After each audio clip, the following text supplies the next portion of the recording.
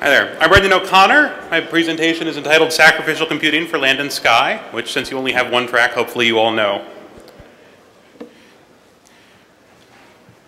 So a little tiny bit about me, and some of this is going to underlie the way I approach this particular problem. So I um, have my own security consultancy, Malice Afterthought. We do security consulting, security teaching, lots of kind of stuff that you know makes bad people cry. But the other thing is that I have this INALY. I am not a lawyer yet. I am a first year law student at the University of, University of Wisconsin, which is kind of a different thing for me. Um, I realize there's you know lots of boo his lawyer things, but don't hate them all. Some of them work for the EFF, they're good people. And the, the thing is that um, being a graduate student has certain advantages, right? When you're a graduate student in computer science, you can have the department pay for all of your research.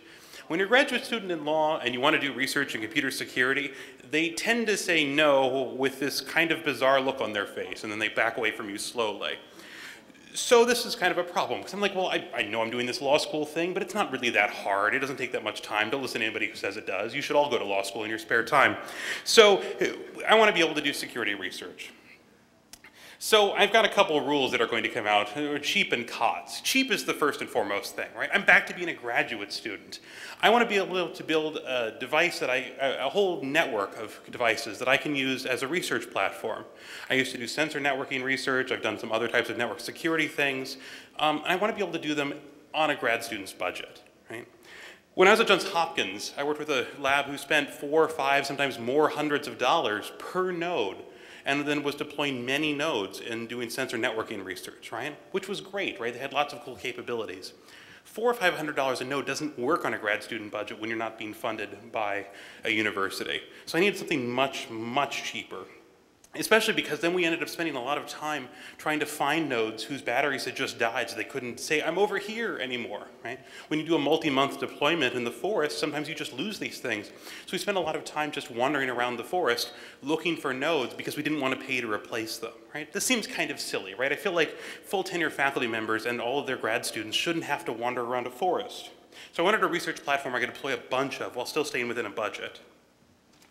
Um, and to be clear, this entire talk deals with just a hardware system. So I'm approaching this problem, we're going to talk about it here, as just a network, a sensor network thing. I think a lot of you guys can come up with new and exciting things to do with this hardware, and that's great. But we're going to pretend this is just a sensor network uh, talk. So I want it to be cheap, we've already talked about, but I also want it to be COTS. So for those of you who haven't spent way too much time doing government contracting, COTS means commercial off the shelf. And that's a, a pretty simple thing, but it has some cool implications for this type of research. One thing is we have repeatability, right? If I can go to Amazon.com, buy the hardware I'm talking about, assemble it in, in, my office, and you know, deploy it in, then I have a certain degree of repeatability. If I wanted to go and say, I need 10 of these things tomorrow, I can do 10 of them tomorrow.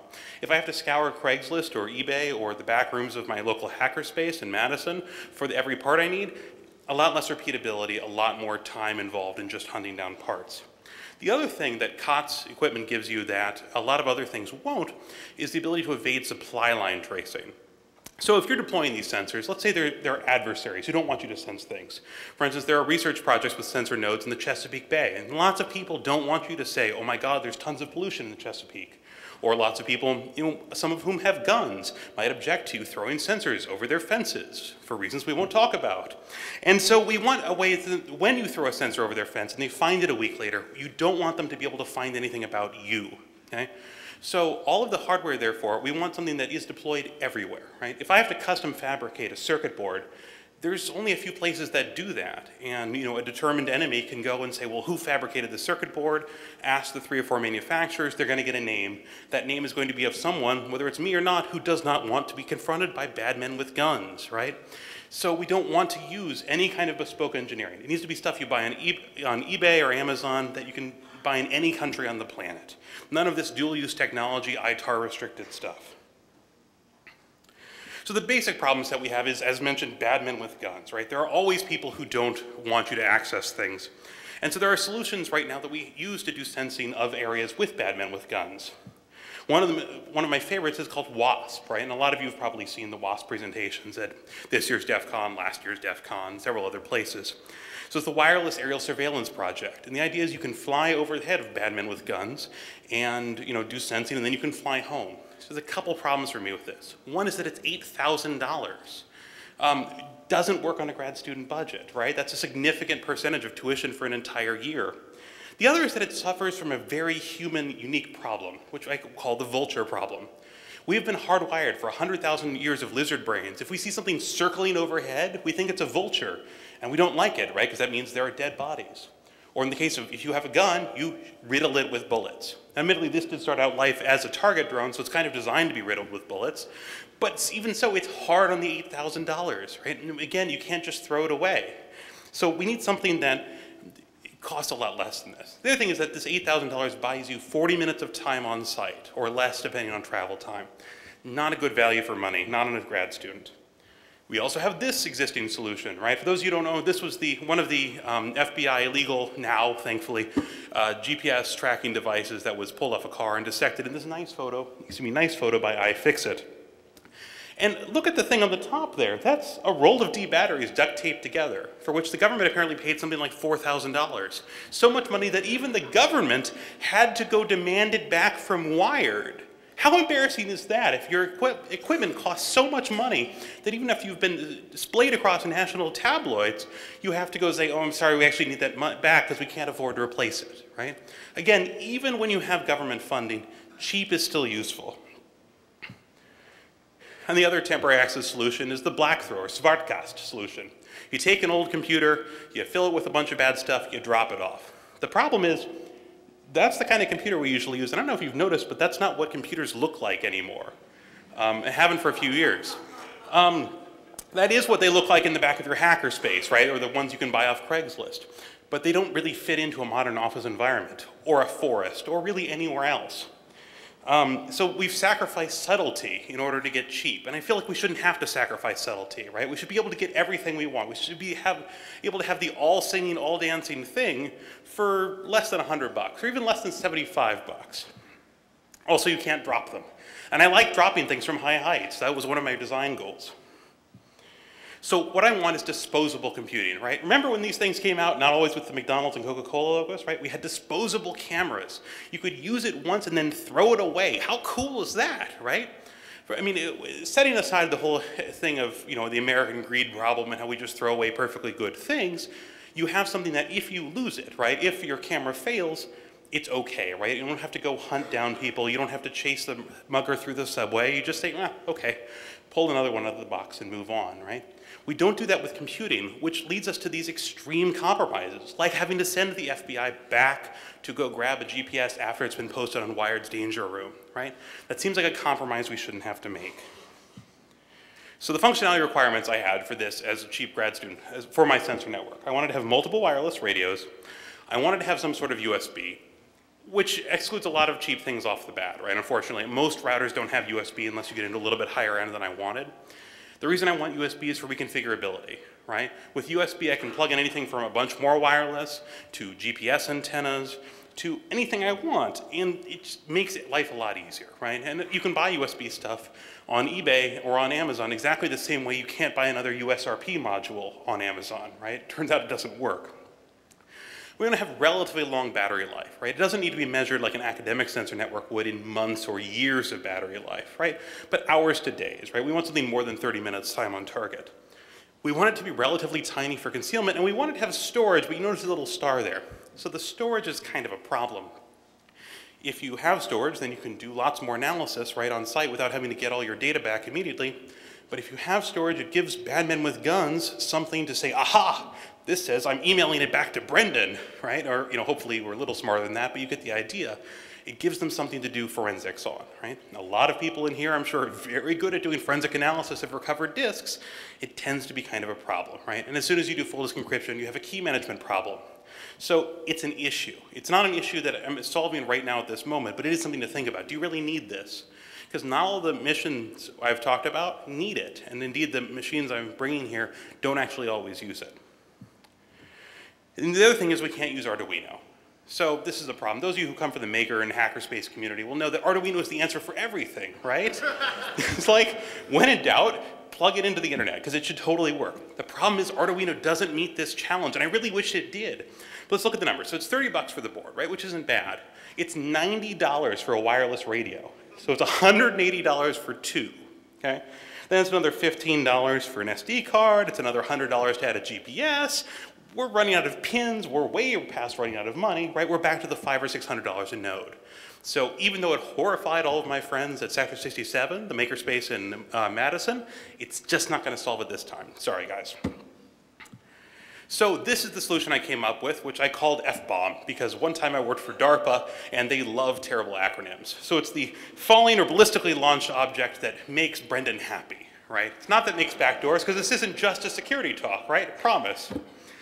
Um, and the, so the obvious choice to make all of this thing, and what a lot of you are going to look like, hey, doesn't that look like Shiva? You're right, it is. It's a Shiva plug, but it's not the normal Shiva plug, right? Those of you who don't know, Marvell a few years ago released this awesome system on a chip called Shiva, which has an ARM5 or ARM6 chip and a few other things on it. The problem is it's $100 for a dev kit plus a bunch of other things. And it turns out when you take apart that dev kit, it has a bunch of power rails and other things that don't like being cut open and resoldered together, right? So we need something a little bit cheaper and a little bit more friendly. And so I turned, like many hackers before me, to something that's bright pink. Because why would you not turn to something bright pink? And here it is, for those of you who are a little bit closer, or it's on the screen. It's the Pogo plug. And the, some of you will be saying, but wait, Brendan, the Pogo plug costs $150. Those of you who don't know, the Pogo plug is a NAS box. It's a design you can plug in your stuff and have it shared across the internet. Very auto magic, right? All of us in this room have no doubt used OpenBSD and other you know, hardcore methods of sharing everything and streaming across the internet. But for mere mortals, we use a bright pink box, right? The problem is that they don't sell very well.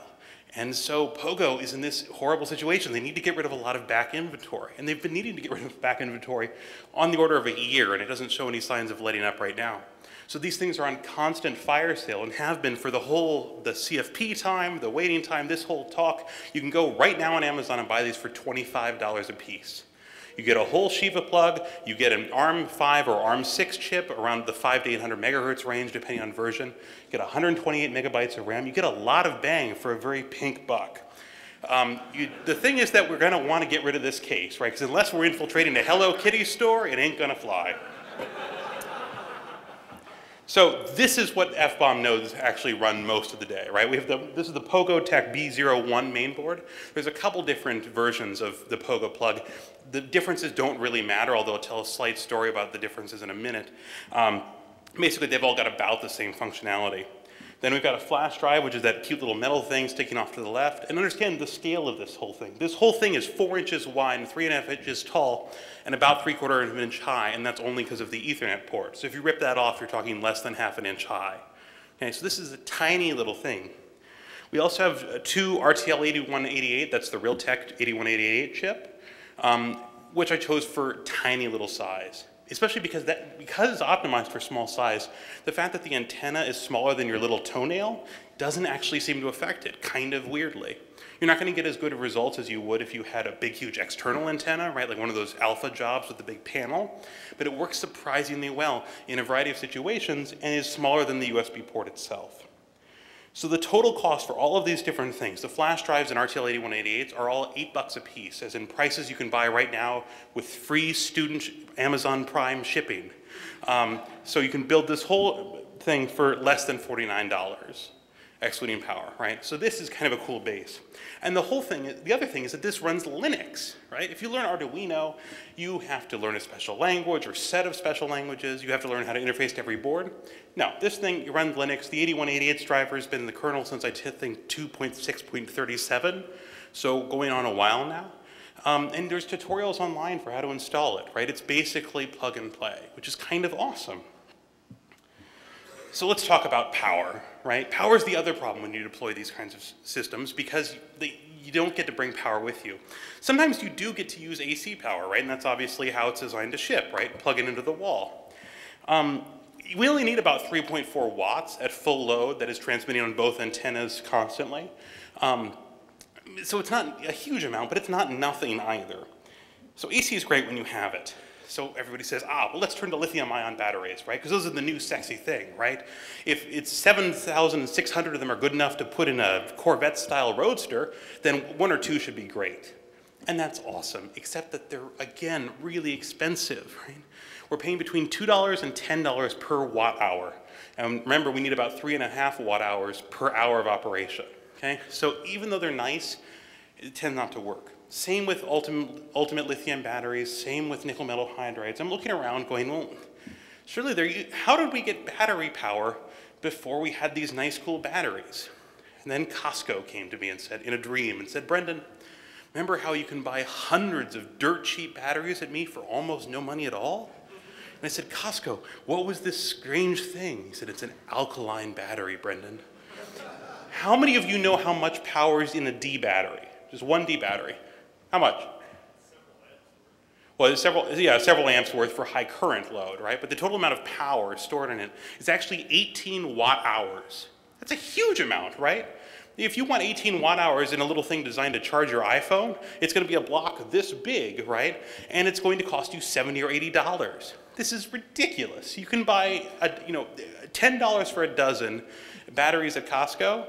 D batteries have 18 watt hours per battery. So four of these things is almost more power than you're ever going to need. It's kind of amazing. We're paying about 4.4 cents per watt hour on an alkaline D battery. And for those of you who are concerned about protecting American jobs from overseas investment, we actually make these things in the United States, unlike all lithium batteries. Weirdly, we make them in Madison, Wisconsin, which I didn't know until I'd almost finished this presentation, even though that's where I live. So yeah, a guy on the ham radio said, you know, I actually work at that plant. What? Like in China? No, here. It's amazing, right? All these supply chains we've forgotten about, which a scrounging grad student finds for you again, right? It's an amazing thing. So why not solar? Solar is a problem, right? I wish we could use solar because then it could run forever. The problem is that the numbers just don't work out, okay? To get a, a 5 watt solar panel, which is about the bare minimum because you don't get 100% efficiency, but let's say you did, so 5 watts, right? That's about an 8 inch by 8 inch square, about yay big, okay?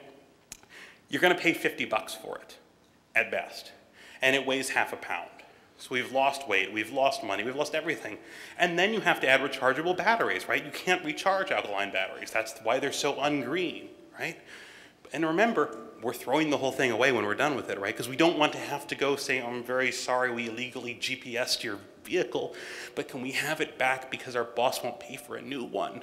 So we can't drop this kind of money, right? We don't want to drop this kind of weight. And the thing is, we're about to throw this off of a plane in about two slides. So we don't exactly get positioning, right? It's five watts if you position it exactly right into the cameras, or into the lights, excuse me.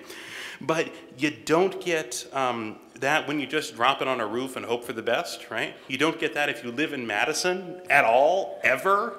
Um, certainly don't get it this winter, right? We just dropped another foot of snow on my roof. It turns out my solar panels get nothing. So that's not that helpful, right? So then we have power stability as one additional problem. Sorry, my phone is going off in the middle of my presentation. How rude are you?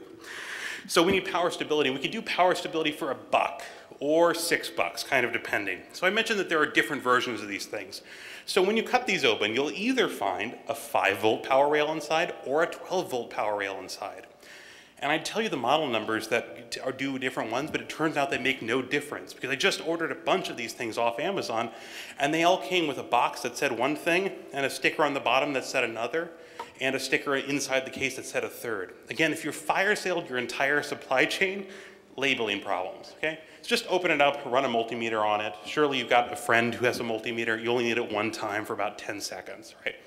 So you either get power stability for a dollar if you can use a 7805 chip, which I now have a bunch of that I can't use because they're all 12 volts, or you get it for about six bucks off eBay, right? They were probably made somewhere on the third shift of a factory that only has two shifts, right? Some of you are familiar with this problem, but it's okay for our purposes because this thing will run at anything uh, this is the 12 volt version, and it'll run at anything between 8 and 16 volts, even though it doesn't say that on the box. So we don't need perfect power stability. We barely need good power stability. But we need it if we're going to run off only a couple. Um, if you want to run a 12 volt device off of three or four AA batteries, you need a little bit of power stability. So that's why we get that. So then I do a series of very boring testing experiments, right? During which I read um, property and torts and things, which are very boring law things. So it was, it was a bad week, right? But nonetheless, it turns out that with 8D batteries, remember those 18 watt hours, with no regulation at all, just plugging them straight into the back of this thing, we can get 32 hours on target. So that means if I heave this thing over your fence, right? Or better yet, I pay some stooge to drop it in your place for you. Or, for those of you familiar with this trick, I FedEx it to some guy who's on vacation, okay? Um, it sits on his box for two, on his desk for two weeks, and the box sends me back all the data for 32 hours, which is plenty of time to achieve all of your wildest dreams of, no doubt, saving the endangered ferrets in the Chesapeake Bay area, right? Um, with no regulation at all. With regulation, it gets even better, and we can use less batteries, right? On a 12 volt supply, you know, you can get away with three or four batteries. Um, the only problem we, I ran into here is something I didn't really expect, because when you look at a battery, it says I have such and such amount of watt hours. I say, thank you, battery. And then you look at the fine print and it says, unless you want a lot of it at once, in which case I only have about a third of that. AA batteries are notorious for this. Each one has about three watt hours in it, but if you draw from them at high and low, they only give you about half a watt hour. So four AA batteries only run this for about 45 minutes, which is still better than WASP, and they cost about 30 cents total from Costco, but it's not great. So this is where you actually want to break out the whole $2 bill and spring for a four pack of Ultimate Lithiums from Energizer because they're uh, designed for higher throughput of current, okay? And again, you need the higher current even though it's only three watts because you have to step up to 12 volts. So there's a slight design problem there. So now, I mean, we've only got 50 bucks, right? But we want to look good, right? We want this thing dressed up like a billion dollar Department of Defense contract. So we need to put in some cases. Let's get some good cases. This is the flight case. So I have it here, but thing. This can actually clip to the bottom of a Parrot drone. Those cute little $300 quad rotor things that you can fly with your iPhone. A little bit outside, but what you do is you get your parents to buy it for you for Christmas. It works pretty well, right? Now you've got the Wasp, okay? This thing can actually take power off of the drone's feet itself using this handy dandy Anderson power pole in the back and you can then fly it onto somebody's roof and land if you'd like. Sit there for seven hours and then fly it back. It takes an amount of power that's essentially nothing compared to the drain the motors have.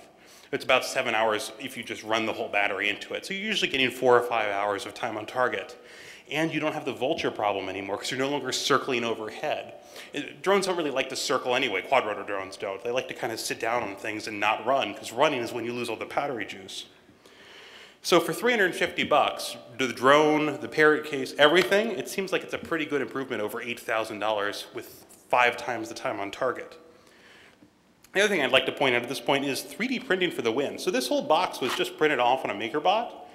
If you haven't made friends with your local hackerspace, do it. They know things. It's crazy. They know, for instance, that if I, you go to them and say, I have this case and I would like to drop it off of my balcony, they say okay, first of all, which is kind of cool, and then they tell you things about internal reinforcement and other nice structural things that you probably didn't know if you're like me and not a real engineer. And then they will explain to you things like, okay, if you drop it like this, it'll totally work. And so indeed, this survived a fall off of my um, back balcony, which is four stories off the ground, with no ill effects while running, okay, with the batteries in it. Okay? Weighs about a pound. As you can see, it's not very big, not much bigger than a stack of three by five cards pretty small, pretty easy to hide almost anywhere you want. You can even drop it from the Parrot drone. It can still take off without much weight on it. If you want to um, drop it while you're in the air, it's not that hard. All you need is a release mechanism. The simple and easy release mechanism would be an electromagnet. Turns out you can't do that because it takes too much power. So I used a hanger. Not proud of it, um, but it worked really well, right? It's not pretty, it's not James Bond, but it works really well on a grad student's budget. The other thing you can do is you can package it inside a carbon monoxide detector. And now I have a question for you. How many of you have checked that your carbon monoxide detectors don't have one of my little boxes in them? Because I'll bet none of you have, right? How was the last time you even hit the test button? The test buttons on this actually don't work anymore, but since no one ever tests their carbon monoxide detector, they barely remember to test their smoke detectors, it doesn't really matter. And because this is already a wall wart, right? This is already designed to plug in, it, will just sit there and run powers for years, right? It can use AC power straight off the tap. No one ever has to know it's a problem. When you close it, it looks like a perfectly normal CO detector. The fact that I've gutted it doesn't matter. Or you can throw it in ugly food containers. And if you're sensing the, no doubt, ferrets inside an office environment, this is the way to go, right? Slight problem here, little bit of an implementation deal, don't put it in the refrigerator, which does lead to food like that, right? But nonetheless, don't put it in the refrigerator. It's a large Faraday cage. What works really well if you're infiltrating a law school filled, no doubt, with endangered ferrets is a box of stale Triscuits on the top shelf. Um, because no one will ever touch it, right? Why would anyone do this? Again, we're trying to be subtle, right? So stale, crappy food no one wants, right? They're like the last three goldfish, right? Or rice cake boxes, all very good, right? You need something with a picture on the outside that makes nobody question what's inside. Because if nobody really wants what's inside, no one's going to find that what's inside is not rice cakes. So this is a pretty good deal for you, right? I mean, you've got 46 bucks, you've got a whole um, thing, it runs Linux, and anybody can assemble it who works at McDonald's for a day, right, on less than a day's wages. It's not tough. If you don't understand Linux, you can do it for 56 bucks. You can learn Linux and do this, right? That's kind of awesome, right? You know, and you can build a device with the capabilities the FBI would attempt to arrest people just to get back so they don't have to buy it again. Now, here's the deal. I have kind of hand waved through this whole presentation about the software aspect, right? So where is the software, right? I mean, there's some basic software, right? You install Linux on it, you can do pretty much whatever you want. But if you're gonna start dropping 10 or 20 of these things out of parrot drones and horrifying your neighbors and scaring your cats and all that, you probably want a better and more robust system, okay? And so I've got some basic software running on these things, the things you kind of expect, right? No doubt, you know, ferret counter 3.0, but if you want to do more and better and faster, there's really one place you go. And you know what? You had a great guy up here about an hour ago telling you exactly where to go.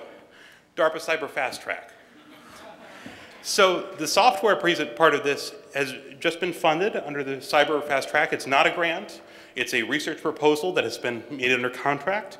It's called Reticle Leaderless Command and Control from me and Malice Afterthought. Okay?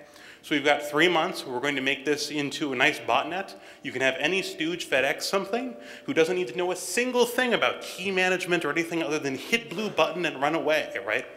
I may have to rethink that instruction thing a little bit. It might not work on Amazon. But nonetheless, it's going to be very simple, very nice deployment. And hopefully in about six months, we'll meet each other somewhere else and I can tell you all about the software aspect of this. So thank you, Mudge. My acknowledgments are as usual. My usual partners in crime, Dr. Griffin, who's been a friend and boss for a long time, and the eponymous Shade, and especially Chris Meyer and everyone at Sector 67. Again, I really can't recommend enough. Go to hackerspaces.org, find your local hackerspace. Get in touch with them. If they've got 3D printers or just a bunch of guys and a saw and a missing a couple of fingers, they're still going to be good contacts for you. And you can teach them about security, which they'll never have heard of. It's crazy, right? So, any questions? Nothing? Really? That boring? I can't hear the yo.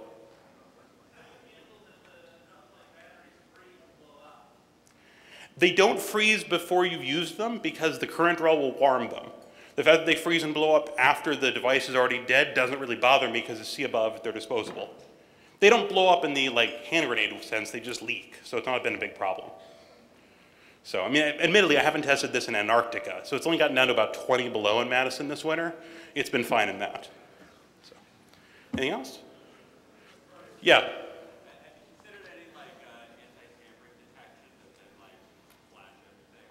You certainly could do that. Um, the right. Have I considered any anti-tampering? Thank you for reminding me to do that. Have I considered any anti-tampering device to flash the memory, for instance? Um, that's something that really folds into the software aspect, obviously. Um, but the simple thing is, if you can solve the key management problem, you can use full disk encryption, right? So the question is, how do you solve the key management problem? Which is pretty much challenge one on the Reticle project. So, anything else? Okay, thanks all very much.